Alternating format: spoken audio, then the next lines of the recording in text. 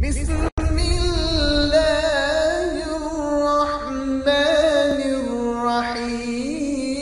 Hitler سے زیادہ بھیانک انسان شاید ہی اسی دنیا میں کوئی پیدا ہوا ہوگا۔ اڈولف ہٹلر ایک ایسا نام ہے جس کے نام سے جرمنی ہی نہیں بلکہ پوری دنیا کاپتی تھی۔ یہودیوں پر جو اس نے ظلم و ستم ڈھائے اس کو دیکھ کر ایسا لگتا تھا جیسے اس دنیا سے انسانیت کا نام و نشان ہی مٹ چکا ہے۔ ہٹلر کے بارے میں جتنا بھی پڑھو کم ہے اور آج میں آپ کو اس ویڈیو میں ہٹلر کے بارے میں کچھ ایسی باتیں بتاؤں گا جو باتیں آپ نے پہلے شاید ہی کبھی پڑھی سنی ہوں گی۔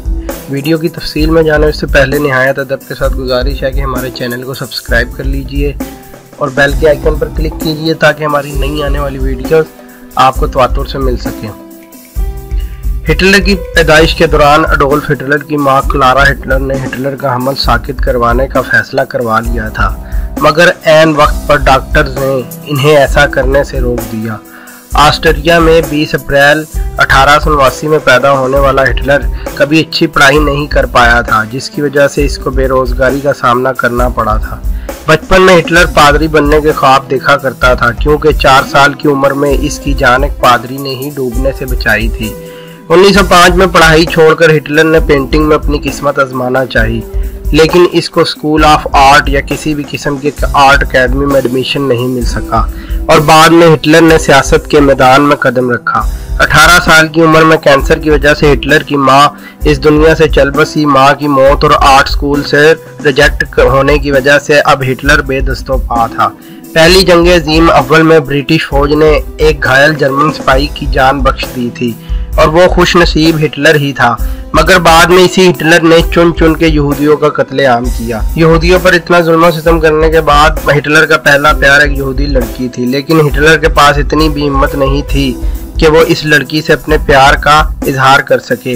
انیس سو چھتیس میں جب جرمنی میں اولمپک ہوئے تھے، جب انڈیا کا مقابلہ جرمنی سے ہوا، جب ہاکی کے عظیم کھلاڑی میجر دھیان چند کی وجہ سے انڈیا نے جرمنی کی بہت بڑی شکست دی تھی۔ اس کھیل کو ہٹلر بھی دیکھ رہا تھا۔ اس نے دھیان چند کے کھیل سے امپریس ہو کے اس کو اپنی جرمنی کی طرف سے کھیلنے کی پیشکش کی، مگر حب وطن دھیان چند نے یہ پیشکش مسکراتے ہوئے ٹھکرا دی۔ ہٹلر کا وہ دن سب سے زیادہ خوشی بھرا تھا جب ٹائمز میگزین نے ہٹلر کو مین آف دی ایئر کا ٹائٹل دیا تھا۔ شاید آپ یہ نہیں جانتے ہوں گے کہ ہٹلر کے پاس ایک ہی مسانہ تھا، جس کی وجہ سے ہٹلر کبھی باپ نہیں بن پایا۔ سیکس لائف کو بڑھانے کے لیے ہٹلر ویل کے وائرس سے بنے انجیکشن کا استعمال کرتا تھا تاکہ اس کی نوجوان گرل فرینڈ خوش رہ سکے۔ انڈین سیاستدان سباس چندر باس سے ملاقات کے وقت ہٹلر کو بڑی شرمندگی کا سامنا کرنا پڑا تھا اس نے اپنی کتاب میں انڈیا اور انڈیا کی عوام کے بارے میں کئی ایسی باتیں لکھی تھی جو کہ انسانیت سوچ تھی سوباس چندر نے ان باتوں کے لیے ہٹلر سے ناراضگی کا اظہار کیا تو ہٹلر نے اس کے لیے معافی مانگ لی۔ اور ان باتوں کو اپنی کتاب میں سے ختم کرنے کا وعدہ کیا۔ یورپ کی تاریخ میں ہٹلر وہ پہلا انسان تھا جس نے نشے کے عادی لوگوں پر پابندی لگائی۔ اتنا قتل عام مچانے کے بعد بھی ہٹلر صرف اور صرف اپنی خوراک میں سبزیاں وغیرہ ہی استعمال کیا کرتا تھا۔